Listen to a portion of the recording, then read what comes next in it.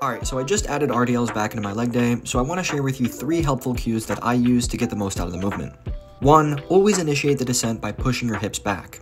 Your knees will bend naturally, however, they should be locked in place with your shins in a constant upright position. 2. Always stop the movement when you can no longer push your hips back any further, as going beyond this point will cause your lower back to round, creating unnecessary stress.